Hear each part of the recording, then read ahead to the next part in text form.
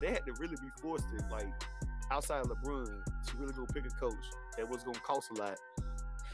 And that's why they got Darvin Ham. They probably got any other coach in the any other coach to come to the Lakers, but it was gonna come with a serious fee.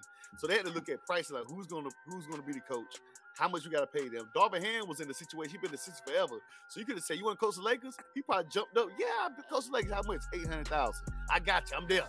You know, he probably went, I ain't saying he was. I'm not That's saying rude as hell. I'm, I'm just saying. I'm just, I'm but let's raw- let's be real. Raw thoughts, raw thoughts here. Now listen to hear me out before you say rude. Before you say rude, Mr. Jordan. That- Um, and rude. not Michael Jordan, That but was Mr. rude. Jordan.